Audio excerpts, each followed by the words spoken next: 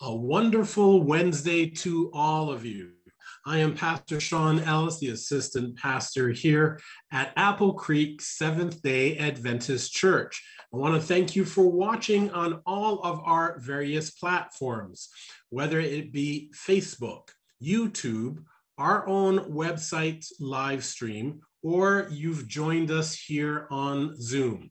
We've been having a very wonderful time this entire month with a program called The Great Reset.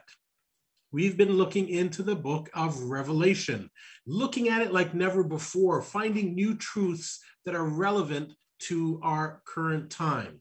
This Great Reset program is done in collaboration with It Is Written USA, and our speaker is Pastor Bradshaw, who's been doing a fantastic job breaking down God's word night after night. Tonight's program is going to be very important, uh, just like all the rest.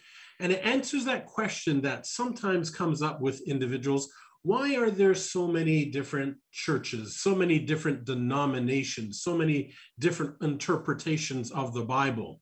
And how can I find certainty amongst all of those denominations? Well, tonight we're going to get the answer not from Pastor Bradshaw, but from the Bible. And Pastor Bradshaw is going to share with you what the Bible says very uh, clearly on that topic. So, this is a great time for you to invite a friend to watch. It's also a fantastic time if you haven't done so and you're on our Facebook site or on our YouTube page to press that button subscribe. It's there pointing you in the face. So take a moment and subscribe. That way you will never forget and be reminded anytime we have a new program. We're counting down into our last few um, programs on this great series, but we're so glad that you've joined us here tonight. So we're going to pray and then we'll turn it over to our friends in Chattanooga, Tennessee, Pastor Bradshaw, and we'll continue the Great Reset. Heavenly Father, we just want to thank you for this evening. We have been blessed by the messages we've been able to hear from your word. And we ask God that everyone that has joined tonight wherever they're joining from, wherever they're watching from, God, that you give them a special blessing where your spirit opens up their hearts and minds so they can understand your word and know your love.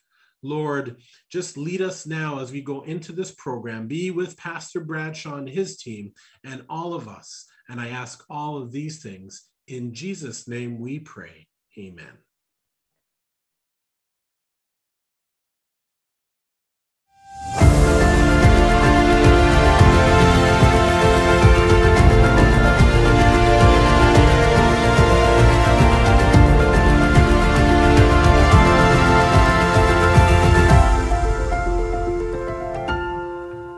Well, good evening, friends, and welcome to night number 19 of Revelation Today, the Great Reset. We are so glad to see those of you here who are live with us in Chattanooga, and as well as those of you who are joining us online. It has been quite an adventure. We're not quite finished yet. We're in the last few nights of our meetings, but we are just so glad that we can come together and study the Word of God once again. Tonight, we're going to be studying the Holy Spirit, a very exciting topic, one that a lot of people have questions about. What is the work of the Holy Spirit? What is the unpardonable sin? How does the Spirit help me and strengthen me in the Christian life? We are going to learn that and much, much more. So thank you for joining us one more time. We want to encourage those of you that are watching online from all around the world to go to the website, revelationtoday.com, where you get those resources. And please do finish and go through all of those Bible study guides on there. They will help you immensely. You will learn your Bible better in a few weeks than you have your entire life as you watch this series and go through those lessons. Also, be sure to download those free PDFs. You will not want to miss a single thing. You're going to gain all kinds of understanding about the Bible that maybe you have never had before. So be sure to do that. Also, we encourage you to share the website with others. That website will be available. The, all of the studies and all of the videos will be archived on the website. So please do continue to share that with your friends and your family so that they can also gain the blessing of these studies. We also encourage you to go back and watch the videos again. You know, sometimes you watch it the first time and you miss stuff. Go back, watch it again, do the lessons, and you will be highly, highly blessed. You can't go through them enough. Also, want, we want to encourage you to visit itiswritten.tv, where there is a number of programs on health and the Bible and Bible prophecy, and a number of topics to help you study more deeply. If you have children, we recommend you to go to myplacewithjesus.com, where there is a number of resources there for children. Well, as we've studied night by night, and those of you who have joined us around the world, Pastor John has been making a number of invitations for baptism and to be a part of God's end time remnant church. And we want to encourage you to make your decision for Jesus. Fill out those decision cards on the program, check in with your local church, and be sure to uh, heed the, vo- the Spirit, uh, the voice of the Holy Spirit as He is leading you night by night. We want to truly, truly appeal to you to make your decisions for Jesus. Well, we also have local friends that will be coming and uh, giving you phone calls or reaching out to you in some way. We highly encourage you to uh, follow up with them. They will be offering different types of study programs and things in their local area that you will be able to join in. Well, at this time, I'm going to invite Pastor John to come on out. We're going to have some Bible questions and we have some good ones tonight. And by the time we finish the series, we will have answered over 100 Bible questions, Pastor Is John. Is that right? It's amazing. Well, thanks for submitting the questions. Good evening, everyone. Great to see you. Thank you very much for being here. Thank you for being here too, Thank Wes. You. Glad to be here. Let's dive into the questions. All right. Our first question is How many times can a person be baptized? I understand that you don't just jump in the water every time you sin, but I've sinned greatly and have been baptized twice already. Is it appropriate to be baptized more than once or twice? It is not inappropriate based on what we read in the Bible. The Bible says in Acts chapter 19 that there were certain disciples who'd been baptized, but they entered into a significantly new experience with God based on the new knowledge they gained. And so, therefore, it's not inappropriate when you learn new things. And I don't mean some little scrap of information, but particularly if it is experience altering, life changing new light. That's not inappropriate. Another time a person may choose to be rebaptized uh, is if they have wandered far from God and left God. And now they're coming back to God. It's a little like if a couple were divorced and then were the thing for one of them to, to, to get into another very serious relationship. I mean, remarriage is appropriate. So if you think about it like that, what's the limit? Look, I don't know. There's no limit given us in the Bible. We have examples of people being rebaptized, but we don't have examples of people being re rebaptized, but that's not to say it didn't happen. So I would encourage you to make this a matter of prayer, perhaps counsel with somebody of experience in these areas Talk to God, follow His direction. He never has yet led anyone astray. Amen. Number two, I have a friend who says some negative things about what I've been learning at Revelation Today, the Great Reset, saying these are different from mainstream Christianity. It doesn't seem to me to be the case, so I wonder why are they saying it? Yeah, I wonder too. I don't think it's especially unusual when you learn something new for counselors to come out of the closet and advise you otherwise. And thank God for them. Because let's say you learned something new and it wasn't true. Maybe it was flat out dangerous. You would want somebody to come alongside you and point out the error of your ways. Now, if you're in a Bible study series like this and you're learning something new and your friend says something negative about what you're learning at Revelation today, of course, your question would then be, Would you show me that in the Bible? Maybe they're going to show you something right. I mean, thank God if I'm telling you something wrong, if here at Revelation today, the Great Reset, we're claiming that something is so and it's not, then you want somebody to tell you. Now, at the same time, what if what you're learning in your experience is right? Who is it, do you think, who wants to talk you out of that? No question, that's the devil. Now, why would somebody do that? I think that's the question. Why is somebody saying that?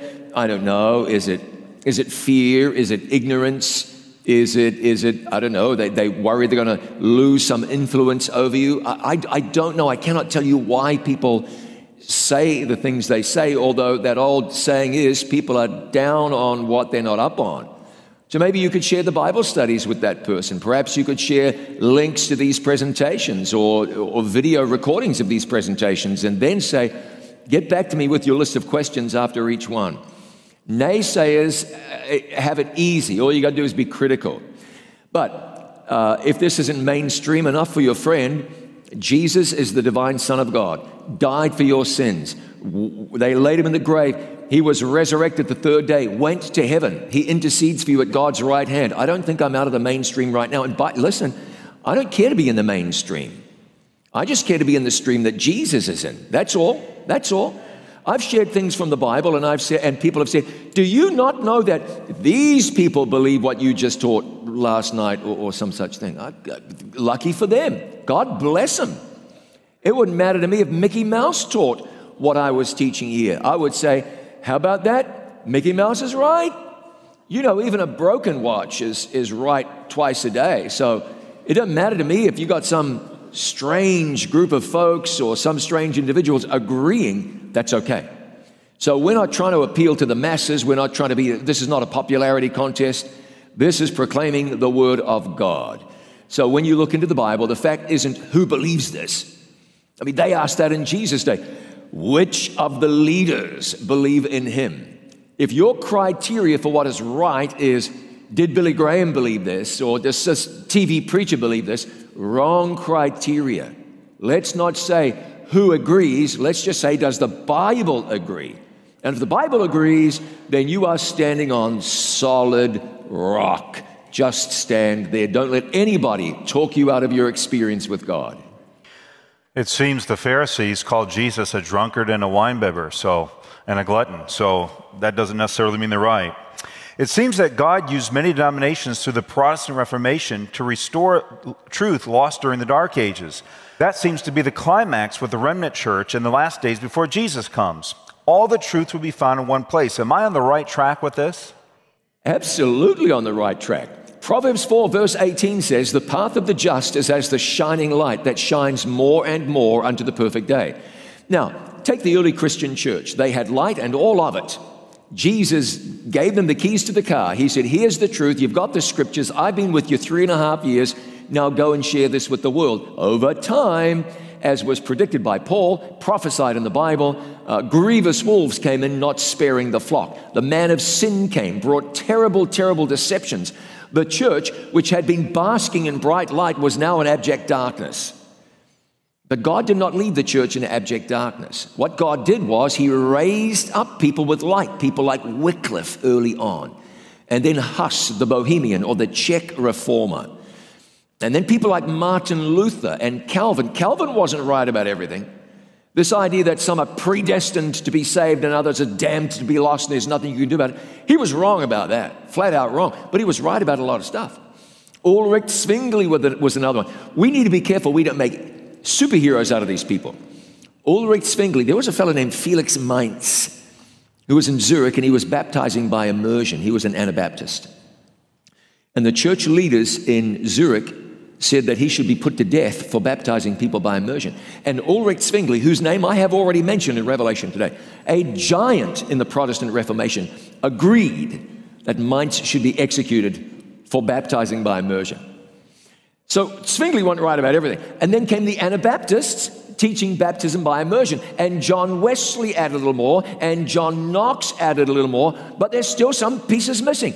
The second coming of Jesus was not being proclaimed. The seventh day Sabbath hadn't been proclaimed. Now the missing pieces are being put back into the puzzle. The light is shining more and more and brighter and brighter so that when Jesus comes back, he has a people that are walking in all the light they can possibly find in the Word of God.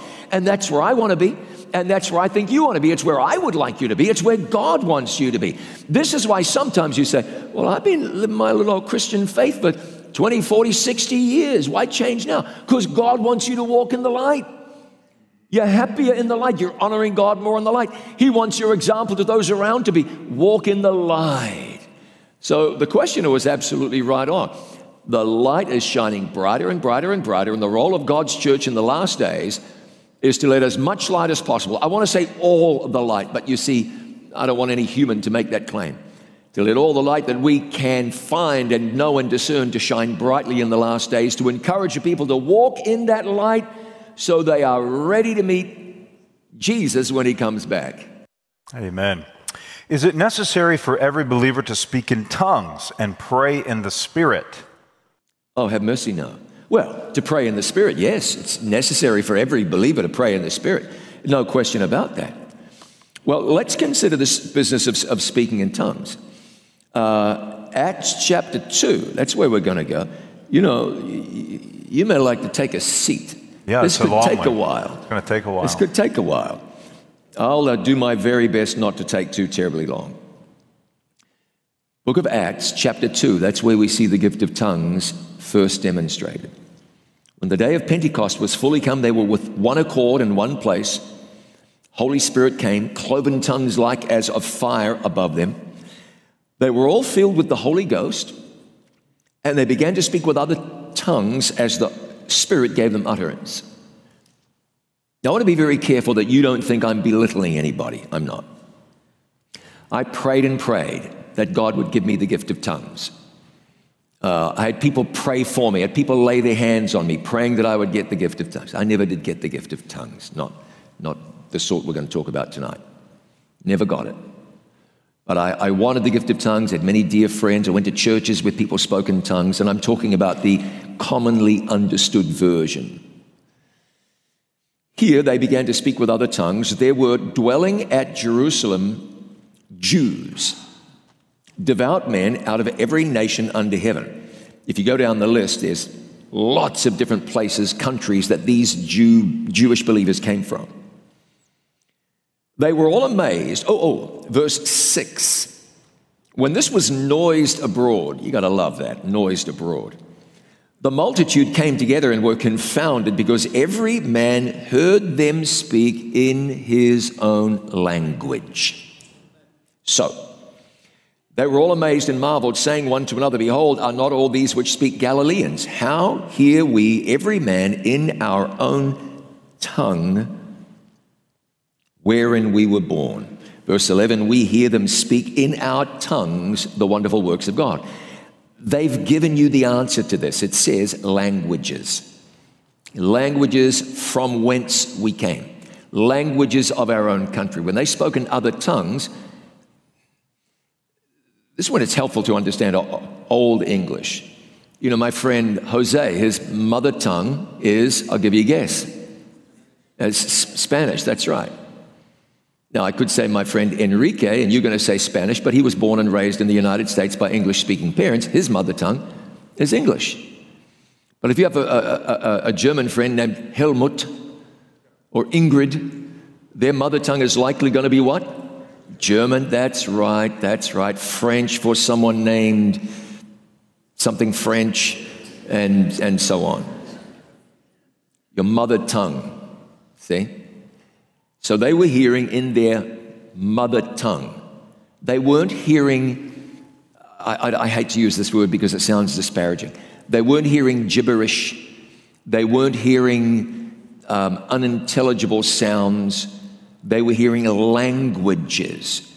And so when you get over further into the Bible, you know, the only church they write to about the gift of tongues is the Corinthian church. Corinth was a busy seaport. There were people from all over the place going, coming in and out of Corinth. You can expect there to be a lot of languages taught. So it says in 1 Corinthians 12, uh, and th- there's so much to read. Mm. There are diversities of gifts, but the same Spirit, differences of administrations, but the same Lord, diversities of operations, but it's the same God which works in all. The manifestation of the Spirit is given to every man to profit withal, everyone. So the gift you get, and people do receive spiritual gifts, you need to be aware of that. Those gifts are for everyone's benefit. People will tell you, I speak in tongues so that me and God communicate. Well, but that's not the purpose of the gift of the Spirit. Gift of the Spirit is so that everybody's benefited and edified. And by the way, let's just be honest. A fellow I met in Australia told me he got in his car in Sydney, drove to Melbourne. It's 10 or 11 hours, spoken tongues with God all the way. That's a long time. I said, What did you talk to God about? He said, I don't know. I was speaking in the Spirit. Let's get real.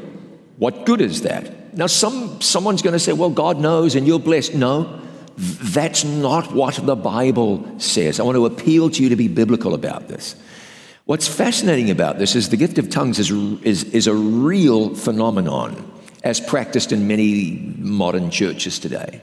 Something happens, and so people see it and say, well, it must be the Bible. Well, no, no more than Sunday is the Bible or grandma in heaven is the Bible. It's an erroneous teaching.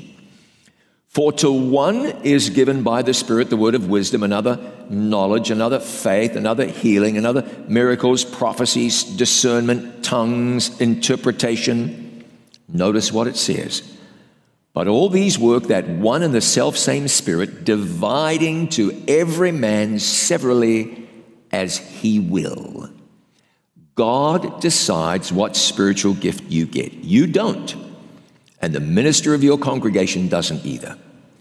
No one can tell you that you must have the gift of tongues. God will tell you you must have the Holy Spirit. He will decide what gift you get. I met a wonderful lady one day. This was in the state of Kentucky, and she said, Yeah, I go to church, but I'm, I'm not saved. I said, Wow, that's too bad. You, you, you look saved, you, you, you act saved, I said, Do you love God? Oh, yeah, no question. You gave your heart to Jesus? 100%. Well, then you're saved. No. Wow, that's got a, what a bummer that is to, to have earnestly love God and have no assurance of salvation. I said, Why? She said, Well, I don't speak in tongues. I said, And so, in spite of the fact that you love God, you know God loves you, you've repented and He's forgiven you, you're not saved. That's what you're telling me. 100% not saved. No. That's a, that's a, I hate to say this, but that's a cultish belief. That's a cult like belief. It's not biblical. And you're telling someone you can only be saved if X, and it's unbiblical. That's dangerous, man. I'd run from that. And it's not true. God decides what spiritual gift you get. If you get the gift of teaching, hallelujah. You know, no one ever brags about, well, God gave me the gift of helps. That's just as much a gift of the Spirit as is working miracles. It's a gift of the Spirit. It's right in the Bible. No one bragging about that because everybody want to raise the dead. Everybody wants to speak in tongues. You don't get as many people looking at you and praising you if you're just helping in the kitchen. Church can be a funny place. The Bible goes on to say that if anybody speaks in tongues, is interesting. It says, let it be two or at the most by three, and let one interpret. So if the gift of tongues is an operation, you don't have a whole church full of people doing it at the same time. Two or three, and there must be someone to interpret. I'll give you an example of that. Let's say a busload of Italian tourists stopped in the parking lot, and their tour guide said, Tonight, here in America, we're going to take you to a Revelation Today meeting, the highlight of your stay in the United States. Well, we'd have a little problem because these Italians who arrived, none of them speak English. And apart from pizza and Lamborghini, Maserati, Roma, I don't speak any Italian. And by the way, Spanish speakers love to run around telling people you're going to speak Spanish in heaven. Not happening. It's either English with a New Zealand accent or Italian. What a beautiful language. Now, I cannot give you a Bible verse for that. I just, I need to make that clear. So, if God were to see it needful the gift of tongues would operate like this myself, or maybe Wes, or maybe you, would be given the gift of speaking in tongues. You would have the miraculous capacity to speak Italian. So that you then could proclaim the gospel to the busload of Italian tourists who arrived. Uh, it doesn't have to be a busload, could be one or two, but you get my point. The gift in tongues would enable somebody to speak a language that he or she has not studied or prepared for. That's why it's miraculous. It's a gift of the Holy Spirit. That's the gift of tongues. And then, by the way, if it were done really biblically, while somebody is speaking Italian who's never studied Italian in his or her life, somebody else would be interpreting for the rest of the church. That's the gift of tongues. So the, the, the, the so called gift of tongues, where people, and again, it's hard to know what right word to use because I don't want to sound disparaging, but where people speak something unintelligible, uh, it might turn you on, it might excite you, it might be spectacular, you might like it, it might, it might make people clap and cheer, but it isn't biblical. So I'd encourage you to be biblical. Okay, John, have you heard of people getting this miraculous ability to speak other languages, to, to communicate the gospel? I surely have. I could tell you two or three or four or five stories like that. Does it happen every day?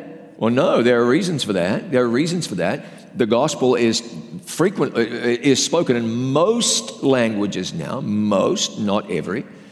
And when you can say to Siri, "Hey, what's the word for this?" translate that phrase, there are, there are less occasions now where it's needful but it's still needful. That's why it still happens. My hunch is understand now, I've moved out of saying the Bible says, my belief is that as we get closer to the return of Jesus, you'll see the biblical gift of tongues manifest more and more. Because while I said most languages uh, uh are spoken by people communicating the gospel, not all. There are many languages where there's no one to communicate the gospel. Uh, by the way, uh, It Is Written is translating our own programming into a Maya language spoken in Guatemala by several hundred thousand people.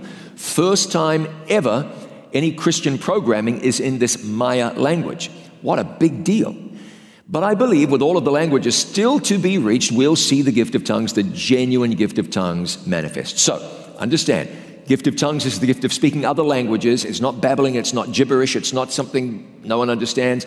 There's always an interpreter. It's for the purpose of sharing the gospel. I want to encourage you to stand on the Bible when it comes to this. Amen. You want to hold our last question till tomorrow night? Yeah, let's go for it. Do it. All right, oh, let's yeah. do it. Last one.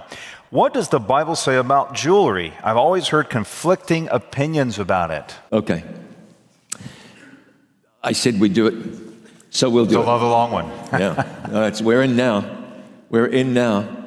You know what the Bible says? The Bible speaks about jewelry several times, and so you will find that some Christians take that to mean they shouldn't wear jewelry, and I, I have no argument with that.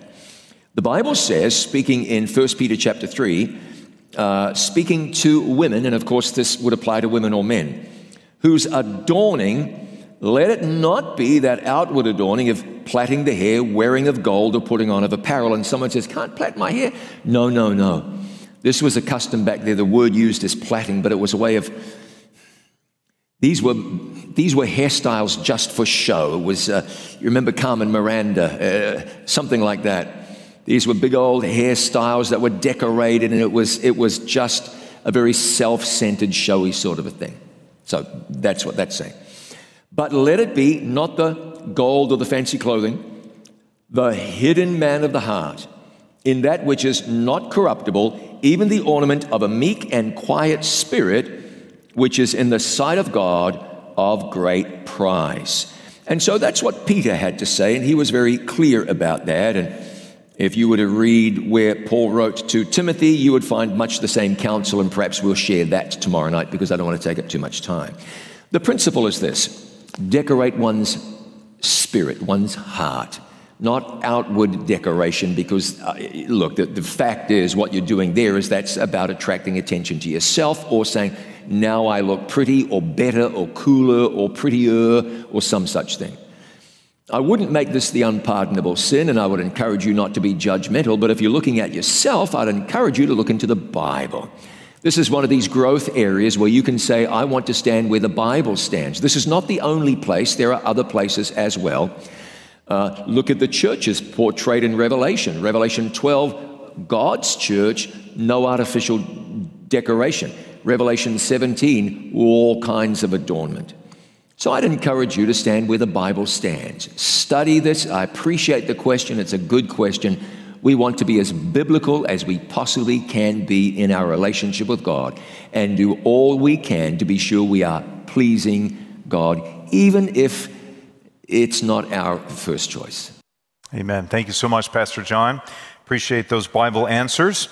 At this time, we're going to have a special number by our It Is Written musicians, Claudia and Roy Trayer, entitled The Power of the Cross.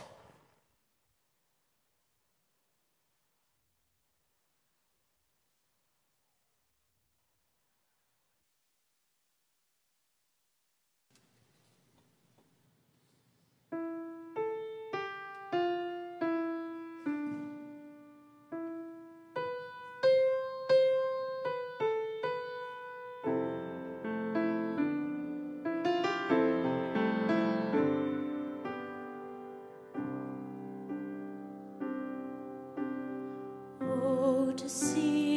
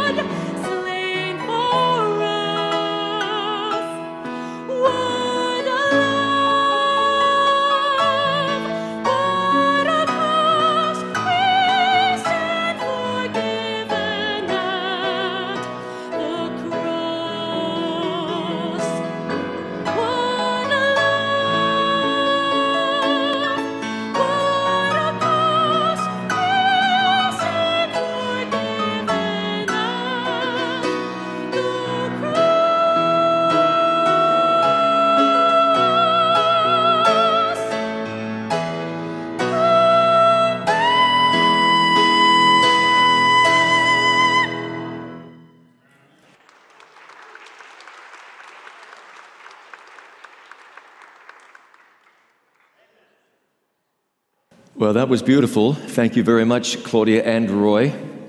Good evening again, everyone. Still there? All right. You know, we're, we're in the home straight now. We're just about done. We have uh, three presentations left in Revelation Today, the Great Reset. And my hope and prayer is that each one of us can experience a, a reset, a renewal, a rebirth, a transformation. As we open the Bible now, let's pray that God would, would, would work that further in our lives right now. Let's pray. Heavenly Father, in the name of Jesus, we come to you grateful.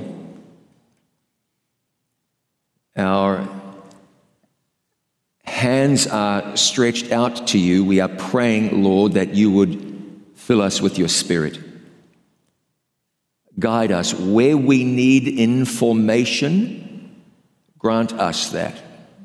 Where we need surrender, allow us to experience that.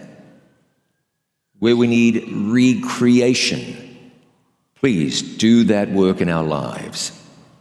We thank you and we pray in Jesus' name. Please say with me, Amen. They're tragic stories. Unfortunately, they're, they're, they're not uncommon. Children hurt or even killed imitating their favorite superhero. Some years ago, a four year old boy in Brooklyn died. He fell from a seventh floor window. He was, he was trying to fly like Superman. Happens all around the world. A five year old boy in Santiago, Chile, fell from the 10th floor of what I think was an apartment building Yes, he, he died. He was, again, trying to be super, Superman. Two little boys around four years of age. They may have been brothers. Maybe they were four and five in China. Fell from the fourth floor of the building in which they lived. Uh, they dived from the window, actually, their arms outstretched, wanting to fly just like Superman flies. Predictable outcome one of them died. Very sad. Today, there's an endless parade of superheroes. It seems like they're everywhere. Superhero movies are incredibly popular. They are among the, the, the, most popular movies that have ever been produced and released.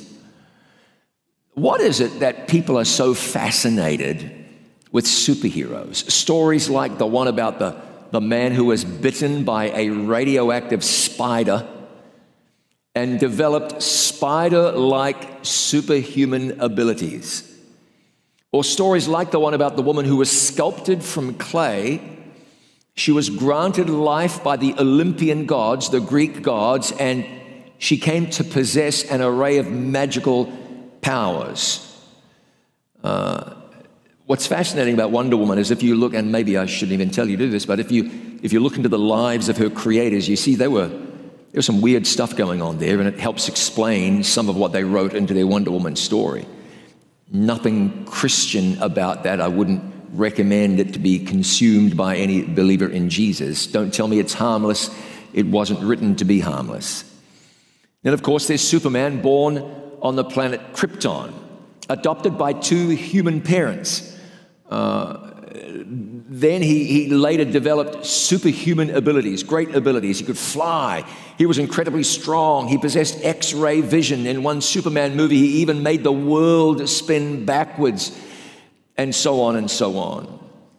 It's really interesting when you come to Superman that the, the creators of Superman connected the Superman story with the story of Jesus, superhuman, from a place far away raised by two human parents. In the beginning, Superman's earthly mother's name was Mary. His original name was Kal El. The El part is from Hebrew Elohim, it means God, very deliberately put there.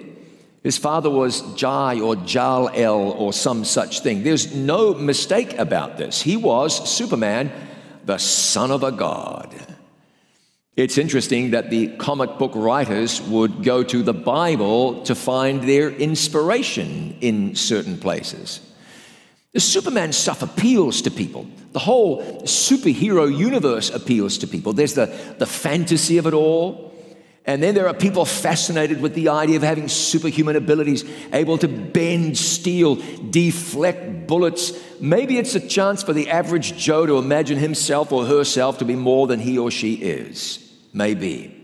But we know that we live in a planet that is awash in superhuman superhero stories. However, we are just humans. We cannot fly. No one possesses a magnificent suit of armor. We can't beat all the bad guys and so on and so on and so on. We are just what we are. But then you come to the Bible, and it's there that you discover everyday people doing superhuman, extraordinary things. The story of Samson, not fantasy, that's real. Samson, who carried off the gates to a city. Samson, who killed all those people with the jawbone of a donkey. Samson, how about Elijah? He went 40 days on the strength of one meal. Elisha raised a child from the dead. Peter and John healed a lame man. Prophets, who were able to foretell the future. Fascinating story early in Second Kings about the prophet who was able to warn the king as to where the enemy were going to be. And the enemy said, We've got a traitor in the camp. There's someone telling those characters where we are at all times. Oh, no, it's not a traitor, it's the prophet of God. God is communicating this stuff. Jesus raised the dead, multiplied a little boy's lunch, turned water into wine or juice more appropriately, uh, healed the sick. This was Jesus. And remember, Jesus was a man as he walked this earth. Now, these weren't superpowers in the mystical, fantastical, fantasy comic book sense, not at all. This was power, but it had a spiritual, a special divine origin. And I want to tell you this, and I don't want you to be amazed, that same power is available to you. And I mean it the power to raise the dead, heal the sick, work miracles, to prophesy. That same power is available to you. And if God wants you to have it at any point in time, He will make sure you have that power. God intends for it to be way, uh, that way. You tell the future? Yes, if God wills. Heal the sick? Yes. Raise the dead? Yes. Work miracles? Yes. Cause an axe head to float? Yes. Walls to come down? Sure. But don't be surprised. God has an even greater power for you than any of those. Let me introduce you to a special group of people. It may be God's will for you to stand with this group and in this group. Revelation chapter 14 and verse 1, it says, And I looked, and lo, a lamb stood on the Mount Zion, and with him a 144,000, having his father's name written in their foreheads. Who are the 144,000? You learn pretty quickly they are a group of people who stand with Jesus. They've triumphed over the beast and his image. They did not receive the mark of the beast, they did receive the seal of the living God. This indicates that these are the people alive and on the earth when Jesus comes, they are ready to go to heaven. It says, Father's name in their forehead. So, do they all have Yahweh inscribed right here on there? No, of course they don't. This represents God's character that's been, re- uh, that's been developed in, them, in them. They become like Christ. Jesus is seen in their lives. There's no tattoo. This is symbolic language. They're standing on a mountain with a lamb. No, they're with Jesus. That's who they are with. Now, somebody's going to ask me, does that mean the number 144,000 is symbolic? Sure, it does. Otherwise, you are imagining as just 144,000 celibate Jewish men comprising the 144,000. No, that's not so. These are overcomers, a group of people that have surrendered their lives to Jesus, a group of people that God wants you to be in or to strive to be in, to yield your heart to Jesus, looking forward to being in that group, ready to meet Jesus when he comes back. Are these superheroes? No, we wouldn't call them that. Do they have a special power? No, they don't. They really don't. And I may, I may run the risk of contradicting myself here, but you hang in there with me and you'll see just what I mean. Revelation 6 asks the question Who shall be able to stand? Right at the end of chapter 6. Revelation 7, next page, answers the question, Who shall be able to stand? by introducing you to the 144,000. Those who stand with Jesus receive the seal of God, don't receive the mark of the beast. How do they do it? Are they more special than anybody else? No, they're not. Revelation 14, verse 12 says, Here is the patience of the, tell me, the saints. Here are they. Two things. They do what they, they what? Keep the commandments of God. Come on now. And they have the faith of Jesus. So there's the key. They have faith in Christ, or you could say the faith of Jesus. They have Jesus living in their lives and working out his life in theirs. I'd like you just to pause with me a second and ask you what would your life look like if Jesus was living his life in you on a continual basis? Now, there are some who might not say this, but the honest answer might be, might not be a whole lot different because I'm walking with Jesus and I'm surrendering my life to him. But the rest of us, if we're going to be really honest, we might say, if I simply got into the habit of turning my life over to Jesus again and again and again and continued to yield, and whenever decision time came, I handed it to Jesus. And whenever I came to a fork in the road of my life, I listened for Jesus' direction. We might say our lives would be very, very different. And that's what God wants for us to be growing and growing and growing and yielding to Jesus more and receiving more of Him. As John the Baptist said, He must increase and I must decrease. The 144,000. Faith of Jesus, that's what makes the difference. But let's zero in a little more. Jesus died, rose from the dead, and went to heaven. And yet the Bible talks about Jesus living his life in us. How does that happen 2,000 years after Jesus ascended to heaven? Come on, now we go to John chapter 15, verse 1. It says, I am the true vine, and my Father is the husbandman. Let's take this further. It's a beautiful passage. Verse 4. He said, Abide in me, and I in you. As the branch cannot bear fruit of itself unless it abides in the vine. You see that picture? Neither can you unless you abide in me. I am the vine, you are the branches. He who abides in me, or she now, and I in him, or, or her, bears much fruit. Listen to this statement for without me, you can do, tell me, nothing. Boy, we got to get that into our heads, don't we? Without Jesus, we can do nothing. He goes on to say, If anyone does not abide in me, he is cast out as a branch and is withered and they gather them and throw them into the fire, and they are burned. If you abide in me and my words abide in you, you will ask what you desire, and it shall be done unto you. Wow, that's powerful. This is the, the wonder of the gospel. Paul described the mystery of the gospel in Colossians 1 and verse 27 as, listen, Christ in you, the hope of glory. That's Christianity. And that's what God offers all of us. If you've been trying to be good, stop it right now. If you have been struggling to get to heaven, quit that. That doesn't help. Your role is to yield and let Jesus come into your life and surrender. And you get to a, an aspect in your life, I surrender that to you, Jesus. I surrender my words, my thoughts, my relationships, my actions. I surrender it to you. And you keep on doing that so that it's more of Jesus and less of you. That's the gospel at work in your life. First John chapter 3 and verse 24. Now he who keeps his commandments abides in him, and he, that's Jesus in him or her. And by this we know that he abides in us. Here we are now.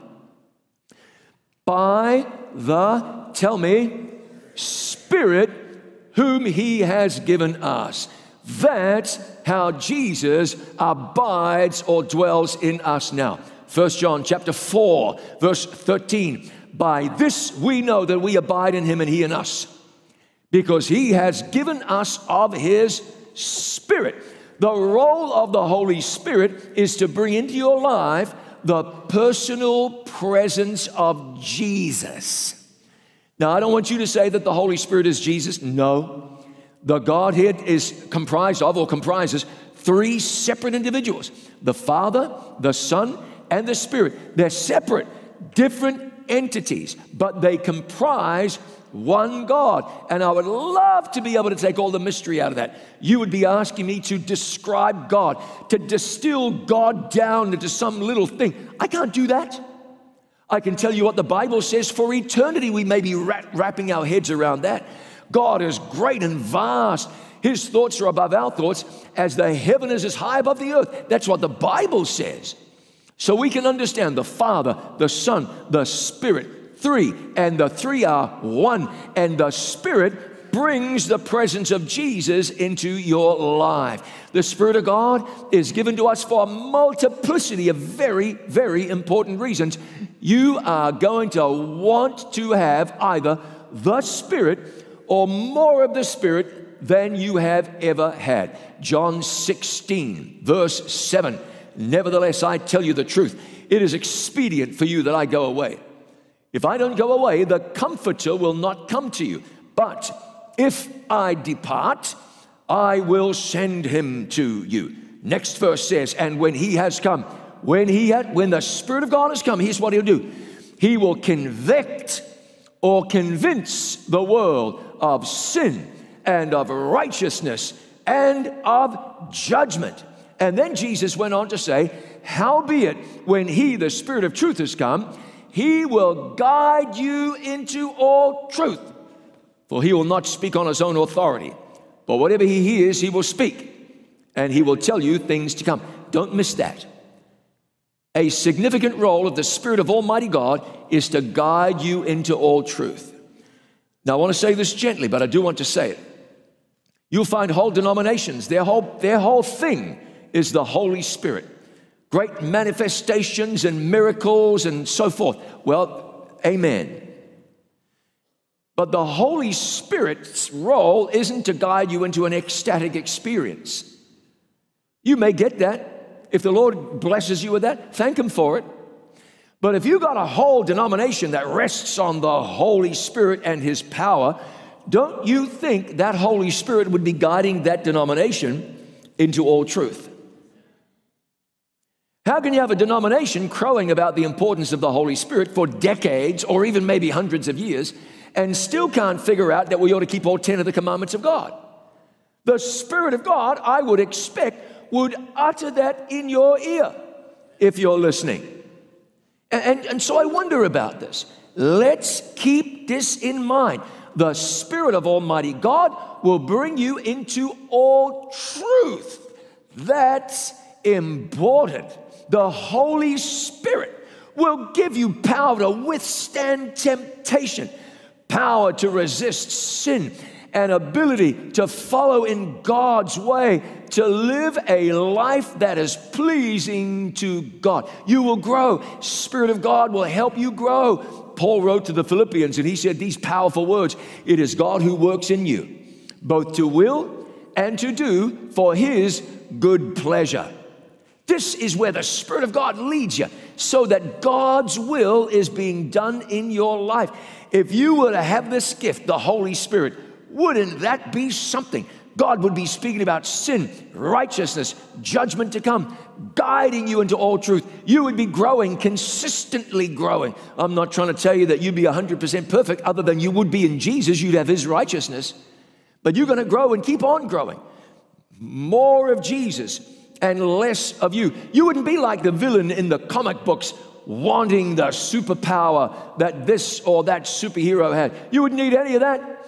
You're plugged into Jesus, and His power, His presence, His life is at work in your life. You'd be good to go with the Holy Spirit in your life. So if it's so good, so great, so powerful, and, and so, so apparently ever present, how in the world do we get the Holy Spirit? Well, I'd like to say this first. The, the Holy Spirit isn't something you get like you go to the gas station and get a tank of gas. It's not like what you get when you go to Piggly Wiggly and buy your loaf of bread. It's not you, you get like you have a possession. I understand if you were to argue that with me, I would say, yeah, I get your point. But in all honesty, it's the other way around. The Holy Spirit gets you. The Holy Spirit gets you.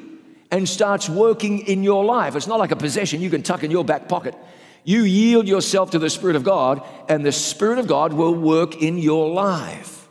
I want to show you how simple it is to receive the Spirit of God. Luke 11, verse 13, Jesus made it plain. He said, If ye then, being evil, sinners, all of us, know how to give good gifts to your children, how much more will your Heavenly Father give the Holy Spirit to them that pay Him? To them that deserve it. Okay, how much more will your Heavenly Father, next word, give, not sell, give the Holy Spirit to them that, that's all you got to do. The Bible is really clear. Listen to these words from Jesus. We go back in the same chapter, starting in verse 10.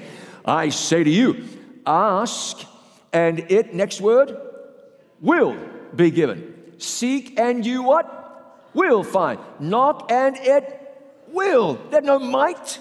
There's no maybe, will be open to you. Everyone who asks receives, the one who seeks finds, to the one who knocks, it will be open. That's very powerful stuff. Jesus went on to say this, and you can imagine there's a little humor here. I'm not saying he's out to get a laugh like a comedian, but they would have listened to this and thought this was funny. If a son asks for bread from any father among you, will he give him a stone? Imagine that. Your son making a sandwich out of a couple of rocks. They would have thought this was humorous. If he asks for a fish, will he give him a serpent instead of a fish? If he asks for an egg, will he offer him a scorpion? This, of course, was an absurdity. No father is going to do that. Oh, one might have smiled. That's so funny. One might have turned to his friend and said, oh, There are times I'd like to give my kid a scorpion. Maybe. I would never have said that but maybe. And that's when Jesus said, If you're being evil, know how to give good gifts to your children, how much more will your Heavenly Father give, give, give the Holy Spirit, the gift of gifts, to anyone who asks? Just as absurd as the idea of a father giving a snake for a fish, a scorpion for what, a loaf of bread. Just as absurd as the idea that God would not give the Holy Spirit to someone who asks. He promises to lead your life. David wrote in the Psalms, I will instruct you and teach you in the way that you should go. I will guide you with my eye. That's God speaking. Over in the Proverbs, chapter 3, the Bible says, Trust in the Lord with all your heart, lean not unto your own understanding. In all your ways, acknowledge him, and he, give me the next word, and he shall direct your paths. That's a promise. God promises to guide you.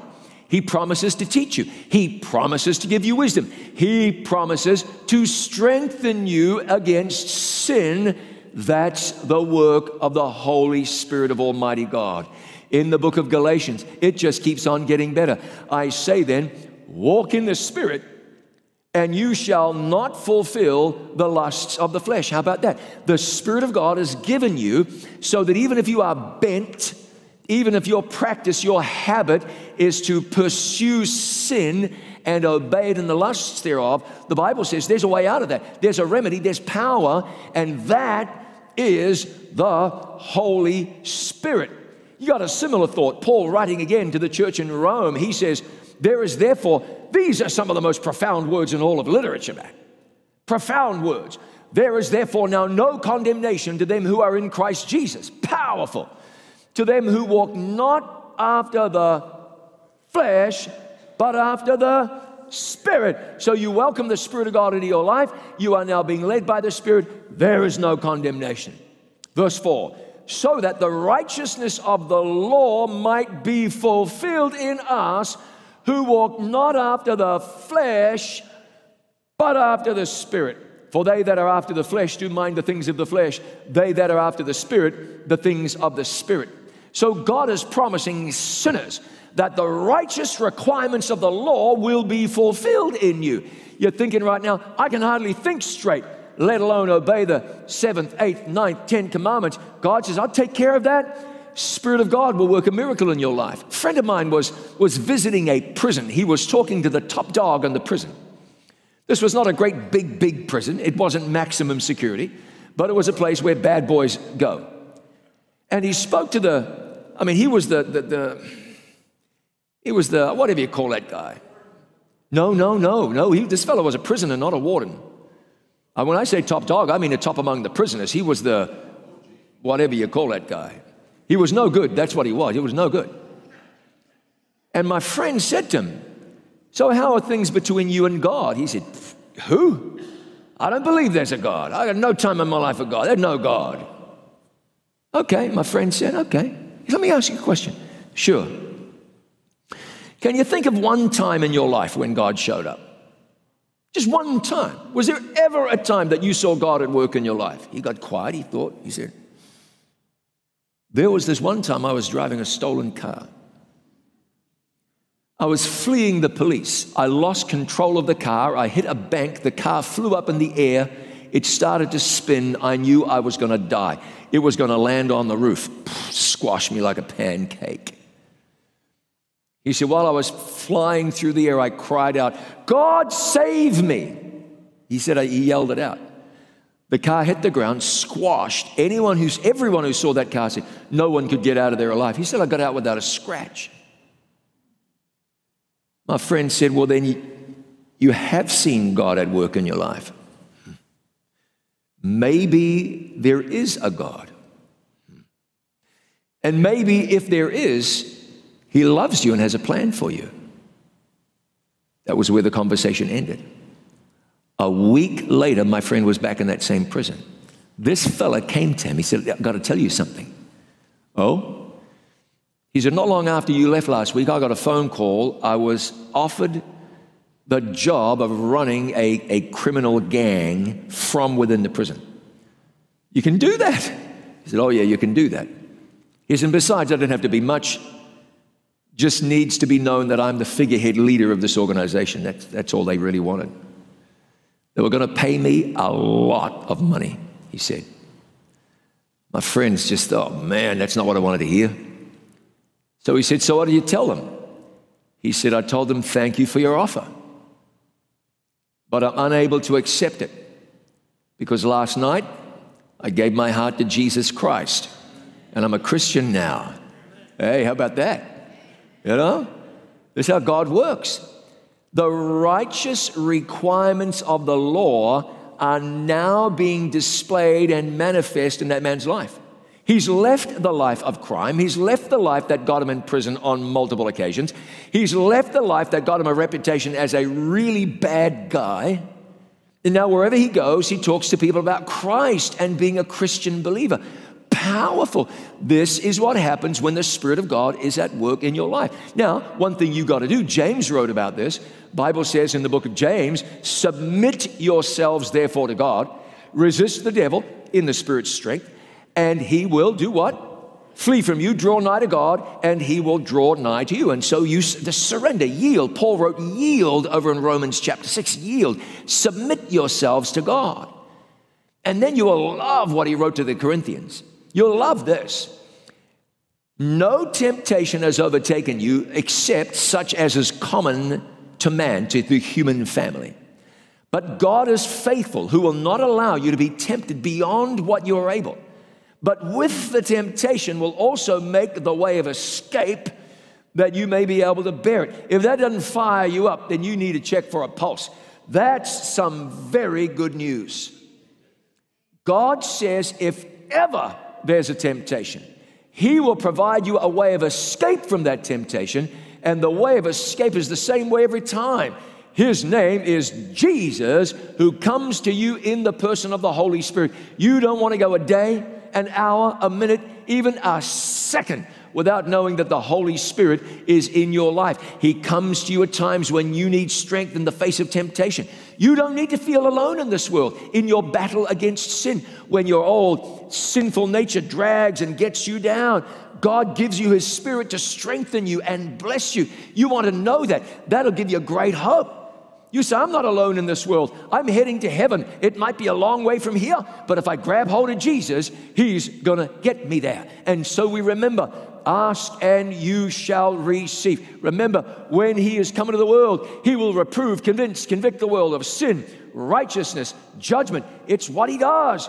Uh, what do you think happens when God sends the Spirit in your life? Great things. Ah, but hold on.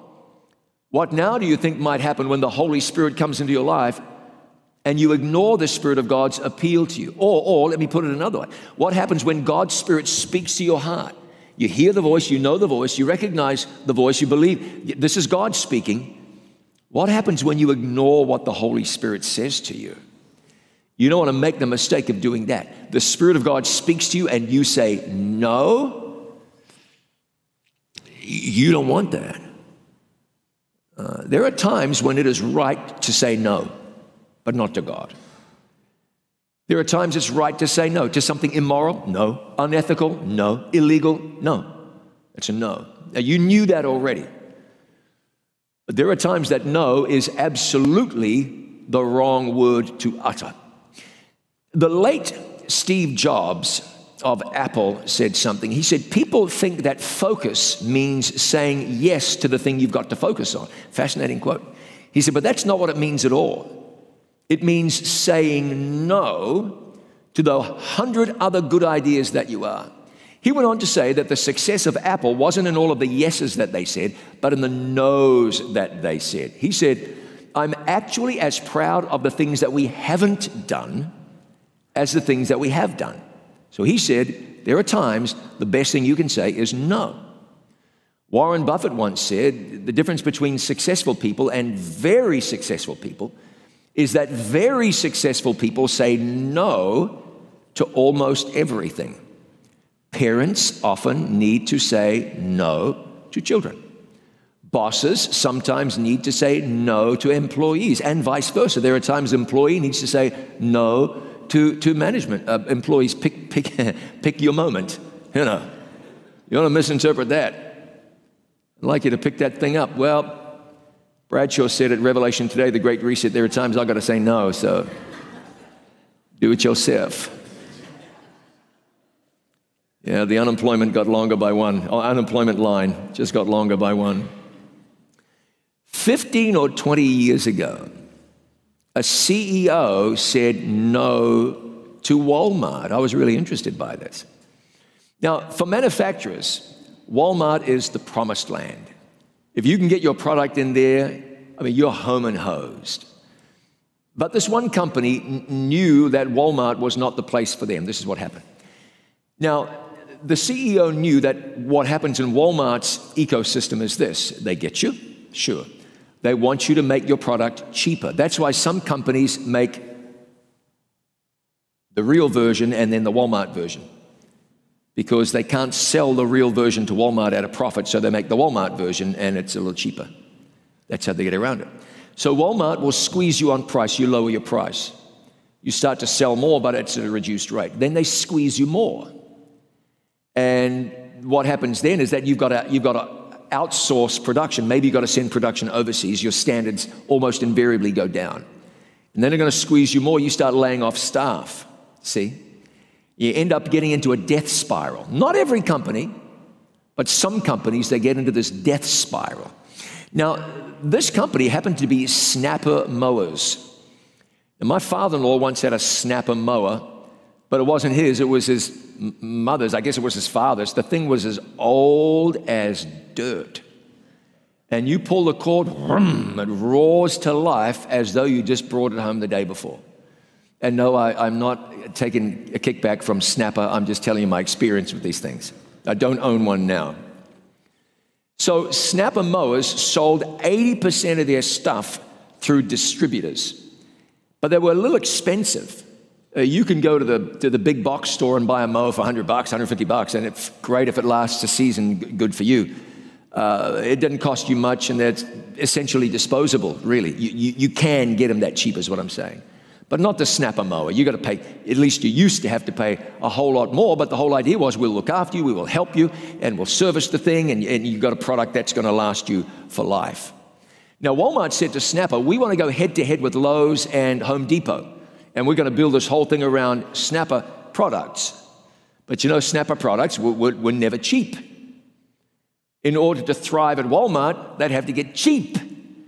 And that they knew just wasn't going to fly. He said, That's not what we want to do with our company. He said, Thank you, but no. And he walked out of Walmart having lost 20% of their business just like that because Walmart sold 20% of everything Snapper sold. But he felt like if he kept going in that direction, over, and the company would be dead before too long. Was it the right decision? I don't know. I don't know. Snapper's changed hands a couple of times since then. Maybe it was right, maybe it was not. But he knew there were times you got to say no. We know that sometimes you got to say no. You don't want to say no to God. When God speaks to your heart, what do you do? Jesus spoke to some fishermen one day follow me. They followed, left their nets. See you, Dad. We got to go. Jesus spoke to the rich young ruler one day. The rich young ruler said, so, so how do I get eternal life? Jesus said, Pretty simple. Sell your stuff, give your money to the poor, follow me. You have everlasting life. I, have never heard it said quite like that in the Bible, if I, if I, as I think right now. Jesus told the man, If you do this, you'll go to heaven one day. And the man said, If I do that, I'm not going to do it. And he said to Jesus, No. He had many goods. The unfortunate thing was his goods were his gods. And by the way, Jesus does not ask everybody to sell all their stuff. He doesn't ask everybody to do that. But he does ask us all to leave it all on the altar dedicated to Jesus at all times. And this man couldn't do that. He said no to Jesus. And when you get to heaven, and I'm giving you the benefit of the doubt right now, you will not find that particular rich young ruler. He would have died, based on what we know in the Bible, a lost man. Who were the wise ones? The earthy fishermen, who I imagine knew how to turn the air blue with their cursing. Peter certainly did. He did that the night he betrayed Jesus. Or the rich young ruler who was pretty sophisticated and probably ran with a good crowd and no doubt had the finer things in life. The answer is obvious who the wise one was. I want to ask you, though, which one are you? Would you be one of the fisher folk listening to Jesus and then following? Or would you be the rich young ruler saying, I don't know. Listen to this. This is Jesus speaking. It's in Matthew chapter 12. He says, Therefore I say to you, every sin and blasphemy will be forgiven men, but the blasphemy against the Spirit will not be forgiven. That's interesting. Anyone who speaks a word against the Son of Man, it'll be forgiven him. But whoever speaks against the Holy Spirit, it will not be forgiven him either in this age or in the age to come. Now, what's fascinating is we know that God is willing to forgive all sin. You, Lord, are good and ready to forgive. If we confess our sins, He is faithful and just to forgive us our sins and to cleanse us of all unrighteousness. We know that God will forgive. But here, the Christ says there's a sin that's unpardonable. How could it be unpardonable? When Peter was preaching at Pentecost in Jerusalem, few weeks earlier, Jesus had died. The Holy Spirit was present, speaking to the people's hearts, and they sensed the Holy Spirit speaking to them. It says in Acts 2, verse 37 Now, when they heard this, they were cut to the heart. They said to Peter, to the rest of the apostles, Men and brethren, what shall we do? The answer came back, and this is what it was Repent and let every one of you be, tell me, be baptized. That was tepid, so we'll do it again. Repent and let every one of you be baptized in the name of Jesus Christ for the remission of sins, and you shall receive the gift of the Holy Spirit. Now, the Spirit of God comes to you and speaks. It'll say, go left, go right. The Spirit of God will say no, no, or yes. The Spirit of God will say stand up, sit down. You understand what I mean? And I don't mean that in a, in a, silly, do I stand or do I sit sort of a thing, but the Spirit of God will give you direction, particularly in your spiritual life. So, what happens when the Holy Spirit calls, speaks, convicts, and you say, no? What then? When God speaks and you say no, it works a little bit like hitting the snooze button on the alarm clock. You get a few minutes peace and then, then it comes back again. But you know, you can hit the snooze button often enough, you can get to the place that you can sleep through an alarm because you, you just don't respond to it. And so when it sounds, you no longer hear it. It's like, like children, you know. Hey, uh, why don't you get, get out from in front of that TV and come out here and do the dishes? Okay. They're not really listening, they're engrossed. And after a while, you can call a kid who's just not hearing you because the child is watching the television or whatever it might be, not hearing you anymore. We can be like that with God. It says in the book of Ephesians, chapter 4 and verse 30, do not grieve the Holy Spirit of God by whom you were sealed for the day of redemption. Isn't that something? We can grieve the Spirit of God. James wrote about the same thing. Therefore, to him who knows to do good and does not do it, to him it is sin. You don't want to grieve the Spirit of God. You don't want to wound, turn back, repel the Spirit of Almighty God. When you know to do good and you don't do it, that's sin. That's sinning by not doing anything, right? By omitting to do, to surrender, to yield to the will of God. So if it's time to make something right about your experience, now's the time to do it. There's no compelling reason ever that you should wait to repent, wait to follow God, wait to make a decision, wait to get your life right. There's no good reason. If you wait a week, the devil will turn that week into a month, the month into a year, the year into a lifetime and your eternal life will be turned into eternal damnation because way back here somewhere you said no to God and no and no and no to God. Of course, God is good enough. You said no, He came back. You said no, He came back again. You, you resisted Him. The Spirit of God didn't give up. But eventually, God gets the message I don't want to hear from you anymore. And God says, All right, that's, that, that, would be your, that would be your will then. And what's God going to do other than honor your will. Paul wrote to the Thessalonians, told them not to quench the Spirit of God. Don't pour cold water on the Spirit of God. Many do. Great idea. I will follow God. I will obey Him. I will certainly get around to that. Miracle of miracles. It doesn't always work out that way because you don't have to say no to God. You could just say, not now. You could say, wait. You could say, later, God. And what do you, God is a gentleman. He doesn't kick the door down. Behold, I stand at the door and knock, it says in the book of Revelation. He doesn't barge in, drag you kicking and screaming off to heaven. No, he hangs on the cross, as it were, and he says, Do, do you see the love that I have for you? And you say, Oh, yes, I want to follow that Savior. And so he says, Follow me. And it, we, you, you can't follow without getting up and moving forward. You, can't, you don't follow at a great distance. Peter did that. If he'd been standing at Jesus' side and said, I'm with him, you know what would have happened? Would it have cost him his life? Probably not. It was only Jesus on trial, but he wouldn't have denied Jesus and he wouldn't have lost all that and he wouldn't be known today as the fellow who said no to Jesus. Oh, I'll wait. You'll do what? as though you have a tomorrow? Who, who promised you tomorrow? Nobody, not even God. That's why the Bible says, Today, while you hear his voice, harden not your heart. I mean, some of us are living on borrowed time. Some of us have been through difficult experiences in our life. Some of us are, to use a worldly phrase, just flat out lucky to be here. And we're going to ask God to just hold on until I have a, a better moment, or until it makes more sense, or until, I, I mean, what? Until what?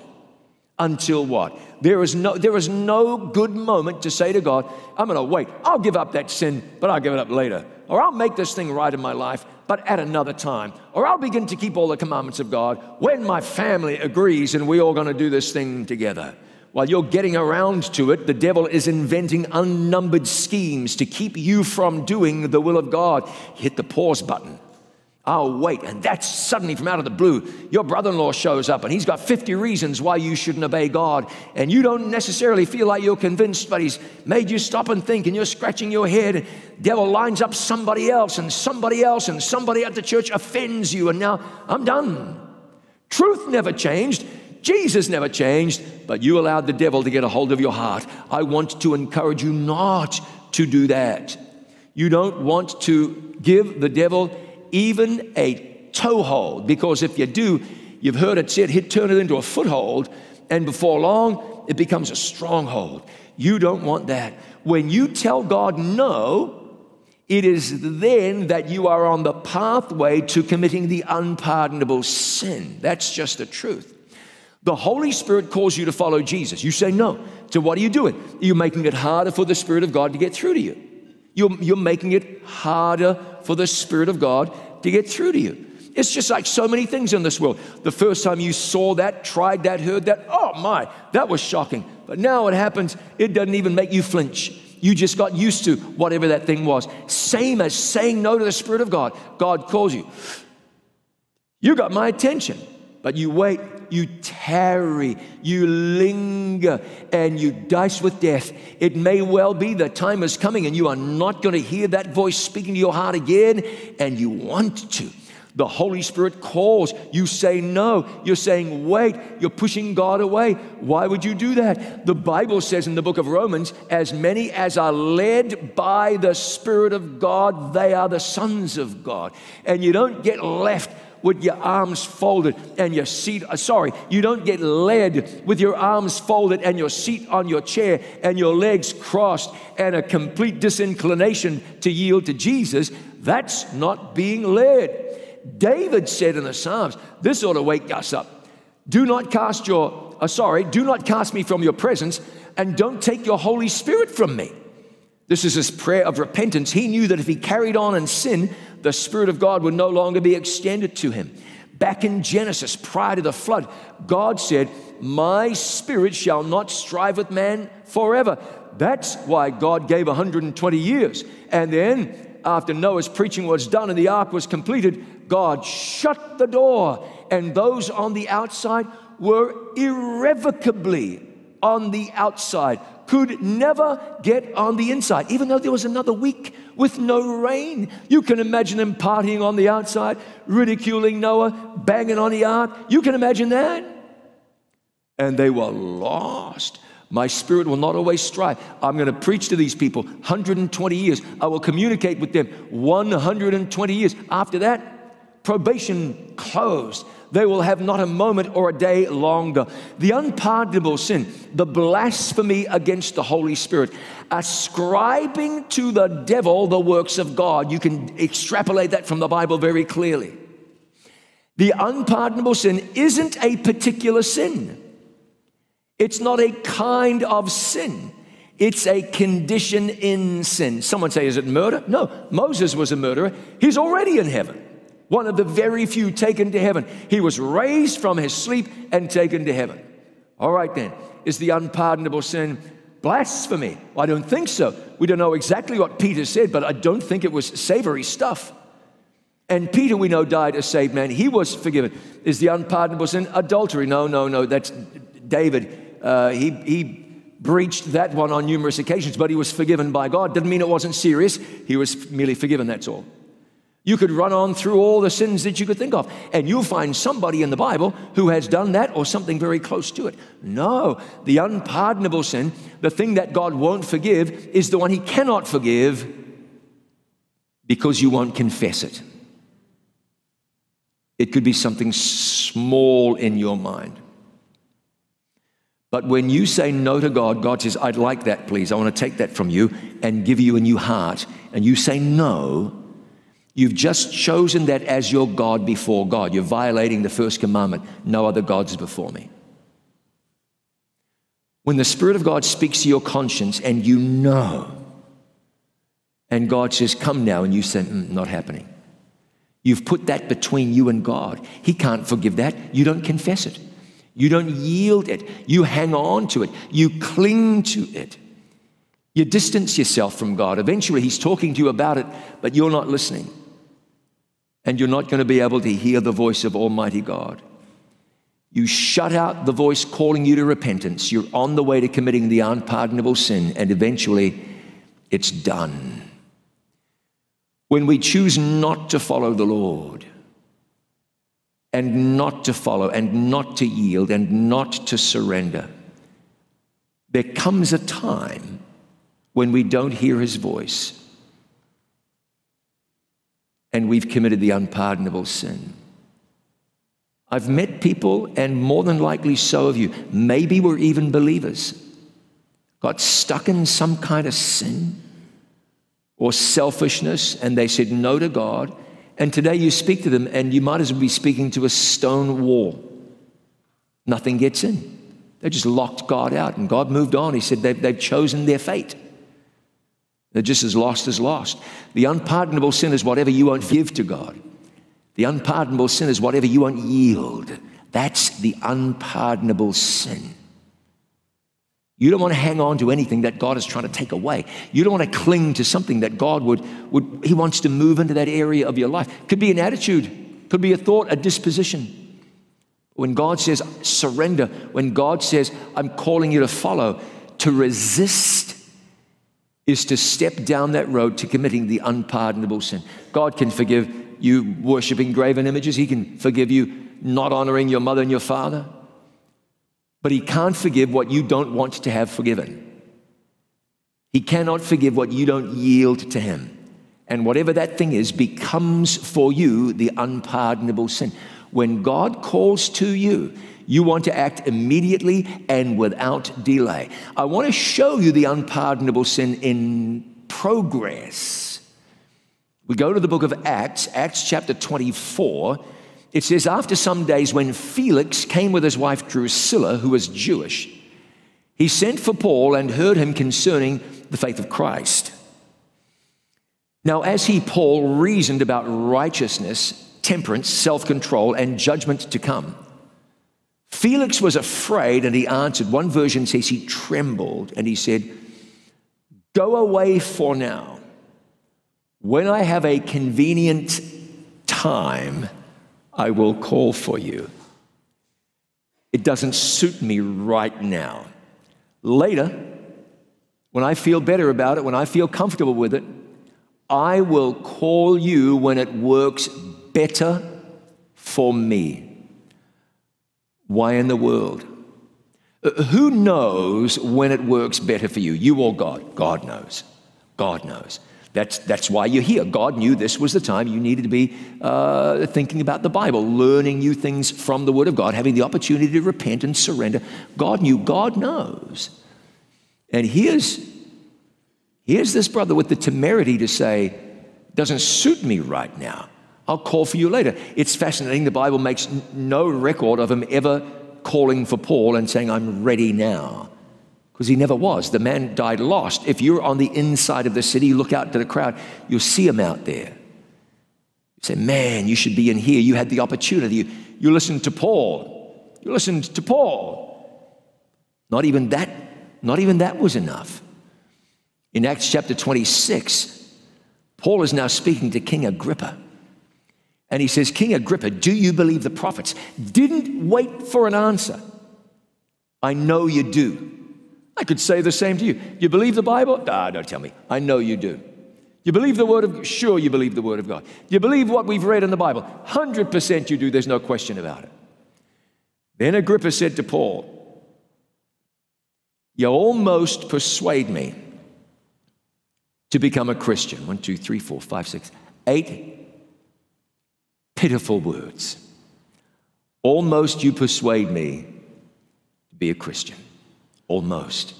He was almost persuaded, friend, and he was totally lost. So, how is it with you tonight? Are you almost, almost persuaded? Well, I don't want you to be almost persuaded. God does not either. He would wish that you would be completely persuaded and say, I'm going to follow Christ. I want to surrender my life to Jesus. You don't want to be like the people in the story Jesus told. He invited people to a feast, and, and one of them said, I just bought some land. I got to go see my land.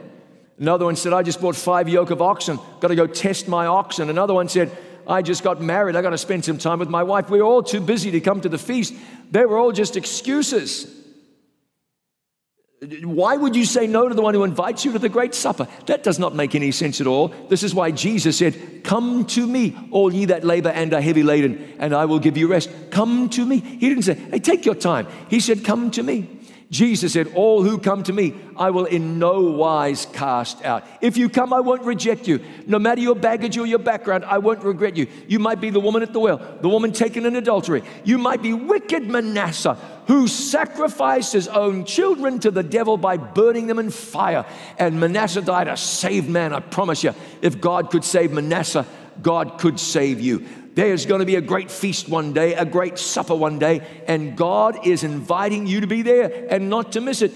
Greatest invitation you ever had was the invitation to be saved. And God is not going to force your hand. He'll speak to your heart, He will draw you, He will, he will woo you. He said in Hosea, I will speak comfortably to her and allure her. Beautiful words, but He won't force you. He's a gentleman, He won't do that. In the book of Hebrews, God asks a searching question How shall we be saved if we neglect so great salvation? And you notice he didn't say, if we reject. No one, you don't have to flat out reject God. You could go to church, sing in the choir. But that's not the same as surrendering to Jesus and following where he leads you. If we don't surrender, how can we be saved? Answer is simple we cannot. Are you wrestling over doing the will of God? I hope you're not. Jesus said, If you love me, you'll do what? Simple, isn't it? If you love me, you'll keep my commandments. Are you hesitating about being baptized? Telling God no when, when Jesus already said yes to you? If you are, why are you? When Ananias spoke to Saul, Saul who became Paul, he said, Why tarriest thou? Why are you waiting? Arise and be baptized and wash away your sins, calling on the name of the Lord. Jesus is coming back soon. We had a series of meetings just like this. Jeremy, and I did not even know his name, came to us early in the series of meetings. He said, I'd like to be baptized. We said, That's great. We have a baptism taking place, or probably in a couple of weeks. Jeremy said, No, I need to be baptized tomorrow night. It was oddly specific. Jeremy, what's up? He said, The following morning, I go to jail must spend some time in jail. It wasn't a day either, it was time. He said, I have turned myself in. I need to repay or pay my debt to society. It's the right thing to do. So I want to be baptized. I'll never forget Jeremy standing in the water. He said, Can I say something? Oh, sure. He spoke to everybody in the congregation. It was hundreds of people. He said, I've gone through some stuff in my life, particularly after my little brother died, everything kind of spun out of control. I lost about everything I had. He said, I'm going to jail soon, but I cannot go into jail without surrendering my life to Jesus. I have to be baptized. And by the way, if you're wondering how the story plays out, Jeremy came out of jail in one piece. It's just fine. Got involved in church, he is the pastor's right hand man at the church he attends. He's, he's in up to here with Jesus. But it's what he said that impressed me so much. He spoke to the congregation and he said, I want to encourage you not to wait. This comes from Jeremy, not me. I want to encourage you not to wait. If God is calling you, don't wait. Be baptized. Give your life to Jesus. It was a powerful little sermon. I'll never forget it. And it lives on as I get to share it with you right here and right now. If God is calling you, don't wait. Don't wait. Tell God, I want to find out more about baptism. I want to be baptized. I want to rededicate my life to Christ through rebaptism, if that's what's going on in your life. I've been wondering about keeping the seventh day Sabbath. Now I know I want to keep all of the Ten Commandments, not nine, not eight, ten. By the grace of God, you would be saying tonight, I'm not going to say no to the Holy Spirit. I'm here to invite you to give your life to Jesus. It's just that simple. If you've done so and it's time to rededicate your life and say, God, I'm following, now's the time for you to come. Again, if you're standing thinking everything is good between God and I, I know the message, I'm okay, that, then your thing is to stand and pray. You might want to encourage somebody. Yeah, you go to Jesus tonight. If you're not here, but you're viewing by some technologically marvelous way, text me, would you? 71392. Let me check my number. Hasn't changed. 71392. Text me the word decide. That's the message you send me. Send me that message, decide. Type it in, decide. I'll send you a link. Click the link, then you decide. So decide to decide and then decide. Would you do that? Father in heaven, in the name of Jesus, we come to you grateful. Grateful you've called and we are responding, answering.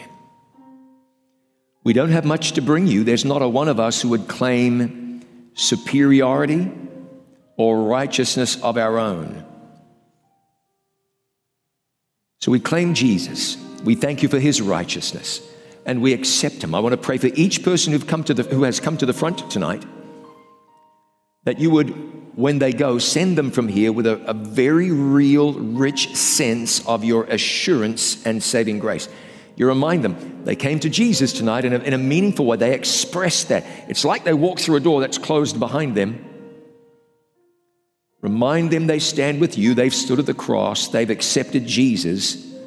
He claims them as his own. There are some to be baptized. We look forward to that. Some who are, all who are growing in your grace. We thank you for that. And now, O oh God, let your benediction rest upon us. Your spirit fill us. Work in us both to will and to do of your good pleasure. And if there's somebody here, wherever here might be, who has just thought, ah, no, I won't, I can't, I, I have to wait.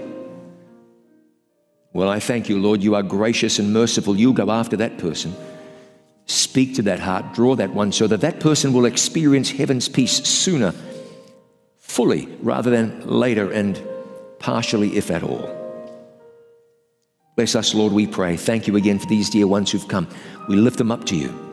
Put your arms around them, station angels around them. Uh, fill them with your spirit in a mighty and a powerful way. Give them a testimony to bear, a witness, a ministry. Use them for your glory. But Lord, take away all doubt, all uncertainty. We're looking to Jesus. His death was for us, His resurrection for us, His ministry in heaven right now for us. We've everything to be thankful for, and so we do thank you and we praise you in Jesus' name. Please say with me, Amen. Amen and amen. I encourage you today to make that decision for Jesus. I know there's someone out there, I know I'm speaking to you now, where you're saying, Well, I'm going to do it. I just want to wait till the remaining parts of the series is finished. But I want to say to you, tomorrow is promised to no one. You've heard the message tonight. It can't be any clearer. The Holy Spirit is calling you to make a choice for Jesus. There's the link on the various chats, the various platforms. Click that link, one simple link that will join you in a mighty chain in a relationship with Jesus. That's all you have to do is click that link. We have a phone number on the screen. Call that number. We've even put it in bold at the bottom so you can't miss it. Call that number. There will be a live person that will answer, that will pray, and you can give them the information, and we will look after the rest. We will reach out to you and connect with you. Jesus is calling, has been calling. You know he's been calling. You know that you're ready to let go. Don't, as Pastor Bradshaw said, press the snooze no, you don't want to miss this wake up call. Jesus wants to transform you. He wants to give you a new life, give you great power, allow the Spirit to dwell in you, and so you can walk closer with Him. If you don't know what that feels like, it's as simple as now pressing the link, calling the number, and you start that journey. And I assure you, friend, you will not regret it. So please do that today while we still have time together as you're doing that, I want to thank all of the other individuals that have continued with us on this journey. And we're going to take a break tomorrow, and then we'll uh, close off on Friday night, then on Saturday morning, and then with Saturday evening. Only three more messages to go. I hope you join us for all three because, again, every one of these has been so powerful, so clear and we can see in it how Jesus loves us so much.